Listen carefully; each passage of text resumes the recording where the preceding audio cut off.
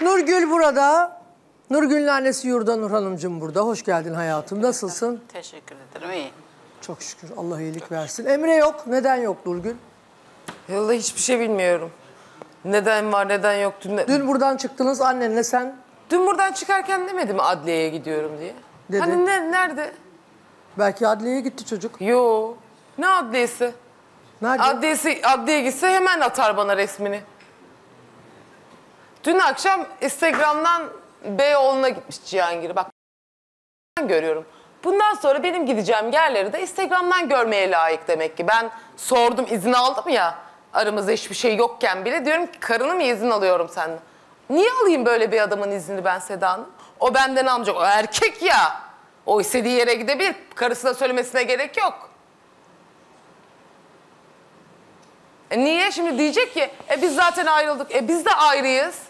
Ben yine sana söylemek zorunda bırakıyorsun yoksa adım başka şeylere çıkartıyor burada. Beni bıraktık, annemikini de başka yerlere çekiyor. Siz. Annemle gittiğim yeri bile sorguluyoruz. Ayrı, ayrıyız. Nasıl değiliz ya? Ne Resmi... dedin Şükran? Mikrofonsuz konuşmayın bacım. Nurgül'cüm e, resmiyette ayrı değilsin ki. Resmiyette ayrı olmayabilirim. O zaman tamam değilim Sö- ben söyledim. O bana niye söylemiyor? Ama söylemek zorundasın gittiğinde yani. O neden söylemiyor? Ya söyle söylemiyor. Ya söyleyebilirdi ama sen şimdi ona bir O da söylemek söyleyecek. zorundasın yani. O da söyleyecek. Tabii ki ikisi de Bu, söyleyecek. bu karşılıklı O olması gereken söylemiyorsa bir ben durum. niye söylüyorum Tabii mesela? ki birlikte O söyleyeceksiniz. gittiği yeri hiçbir yere hiçbir zaman her gün başka bir yerde Söylemiyor söylemiyor. mu? Ya hayır Seda Hanım küsken beni arayıp benden izin mi istiyor?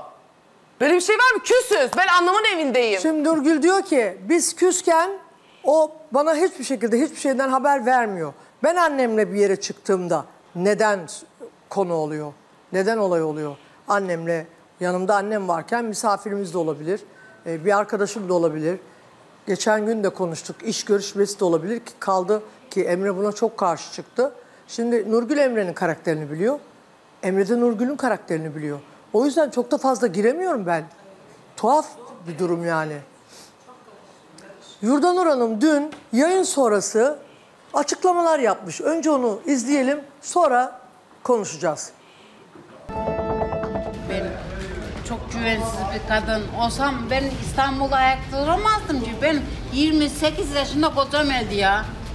Kendi başına. Ha bu kadar ayaklarımın üstünde durdum kimse bana demedi ama bunlara diyorlar. Ben öyle bir insan mıyım? Tövbe yarabbim.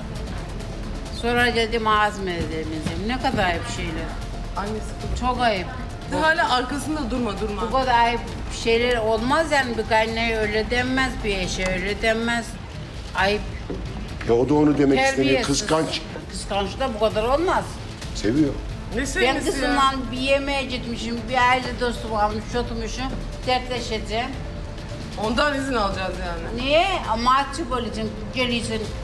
Kalk, kalk, kalk, yukarı masaya kafanıza, kalk, kalk, kalk. O derece mi? O derece.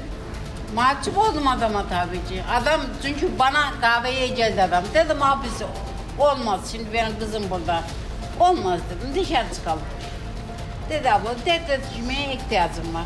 De onun için biz dışarı çıktık. Yoksa ben evimde de kahvemi içerdim. Emre Yurdanur Hanım'ı suçlar gibi konuşunca Yurdanur Hanım da böyle bir açıklama yapma lüzumu hissetmiş. Ee, bir anne olarak haklı. Ben kaç yaşından beri dul, ayaklarının üstünde yaşayan bir kadınım. Kaldı ki bir kadının annesiyle birlikte olması e, yanındaki insanların anlamadan, dinlemeden yargısız infaz yapılmaması lazım. Emre biraz çeviri davranmış bence. O da kıskançlıktan. Ya böyle bir ya kıskançlığın da bir haddi hesabı olur. Böyle biz zaten var ya ben ona çok fazlayım ya. Ben beni zaten durduğum yerde kıskanıyor. Burada geliyor eteğimi çekiyor, onu çekiştiriyor. Burada herkes görüyor yani. Olmayız biz yani. Biz olamayız. Ben bir ortamda arkadaşlarımla dışarı çıkıp gezemeyeceksem ben bunları hep söyledim. Ne giyimimden, ne gezmemden, e, ne kuşanmamdan ödün veririm. O da tamam dedi burada. Şimdi ne oldu? Karım, karım. Ve herkes de şey, karısısın izin almak zorunda. O da benden almak zorunda o zaman. Beyoğlu'nun arkadaşıyla gitmiş. Benim haberim var mı? Yok. Ne yaptığından haberim var mı? Yok. Bir şey yapacağından da değil biliyor musunuz? Benim böyle bir tereddütüm yok. Sormam bile arkadaşıyla dışarı çıkmış. Ya insan kafa dağıtmak için arkadaşıyla çıkması kadar da o ortamda arkadaşın eşi de olabilir. Beni hiç ırgalamaz yani. Olmam gerekiyorsa çağırır zaten. Eşim sen de gel. Bak yalnızım. Zaten orada kendini yalnız hisseder çağırırsın. Keşke biraz insan olsa, bak insan olsa ben de eşimin yanında çağırabilsem ya. Böyle artı artı hareketler yapmana gerek yok ki. Ben Peki. küsüm o yüzden gitmişim. Yoksa çağırırım yani. Ne oldu Safiyeciğim? Toplam belki iki ya da üç ay birlikte yaşadılar. Nazlı Hanım sorunu oldu üst katta diye. İşte e, Nurgül yani aralarında sürekli bir sorun. Ev sorun. E, verilen sözler tutulmadı sorun. Yani bir evliliğe zaten adapte olamadılar. Nurgül de gittiği yeri söylememesi çünkü e, gördüğümüz kadarıyla birçok yerde Nurgül'ü rezil etti. Yani ondan çekinerek de Nurgül söylememiş olabilir. Ya ne eşim kaldı, ne dostum, ne arkadaşım, ne akrabam. Ben daha Emre benim bir senelik kocam. Abimle oturup da tanıştırmadım. Neden? Güvenmiyorum. Kocam, bak kocam abimle tanışmadı. Ablamın eşiyle tanışmadılar daha. Aynı ortama soktum mu sor. Abimle mangala gittik. Ee, yine Emre'den izin alıp Emre'nin başka bir işi vardı. Ben abimlerle mangala gittim. Yedik, içtik. Abim dedi ki sen de niye benimle tanıştırmıyorsun? Ben dedim ki burada bizim ortamımıza girecek kadar daha kendini geliştirmedi. Çünkü beni Allah orada da rezil edecek yani. Emre! Edecek. Edecek, rezil edecek beni. Efendim abla. Abim de Emre, alttan duyuyor alacak musun bir bunları? insan değil anladınız mı? Duyuyorum. Alttan duyuyorum. almıyor. Ne diyeceksin? Duyuyorum. Buraya neden gelmedin? Önce onu sorayım. Ne oldu Emre'cim? Ben artık oraya gelmek istemiyorum. E, gelmek istemiyorsun da dün buradan çıkarken demedin mi? Ben adliyeye gidiyorum. Ne oldu? Boşanmak Bir de istemiyorsun orada- sen. Bir de orada kendilerini haklı çıkartmaya Zaten çalışıyorlar. haklıyız. Utanmadan. Neye Utanır, utanacaksın? Utanır insan. Ne utanacaksın? Senden mi Annenin, utanacaksın? bak şimdi Sen Nurgül, kendine bak. Ben bak şu anda benim bak benim Bak bir resmiyette karımsın diye ben sana yine hakaret bir şey konuşmuyorum.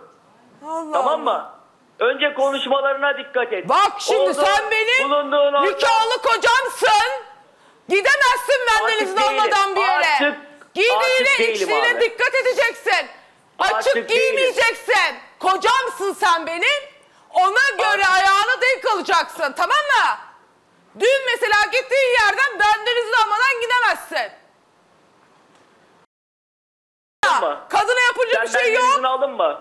Sen sen benden izin aldın mı? Hangisinde izin aldın bugüne kadar da? Ben şimdi sana Bir de izin bir şey vereceğim. söyleyeceğim. Bir Ya de bir şey Emre söyleyeceğim. tamam Bak- bundan sonra bak- olacaklardan ben Ama bak, mesul değilim. dinle- bak ben sana dedim ki, ki. dinle dinlenilmez çünkü. Anladın mı? Dinlenilmez. Beni çığırımdan çıkarttı artık. Bak ben neden Beni gelmediğimin çığırımdan çıkarttı oraya artık. kanıtı bu. Dün boşanmaya gidiyordu. Ne oldu? Ne oldu? Hala karım diyebilmek için boşanmaya gitmiyorsun. Bu bak Seda Hanım, akıllı ol.